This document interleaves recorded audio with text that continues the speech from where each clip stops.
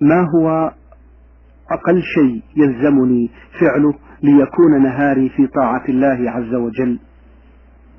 عليك أن تحرص على أداء الواجبات وأن تحفظ لسانك وجوارحك عن محارم الله حتى تكون سعيدا موفقا. تحرص على ما أوجب الله عليك من صلاة الفجر ومن أداء حق أهل البيت من أولاد وزوجة وحفظ جوارحك عما حرم الله من المعاصي في حق الله وفي حق عباده وبهذا تكون ناجيا سليما.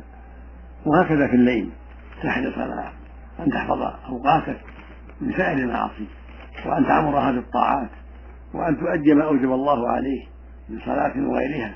هذا هو طريق النجاة هذا هو طريق السلامة. الحرص على حفظ الوقت من ما حرم الله وعلى حفظه بأداء ما وجب الله.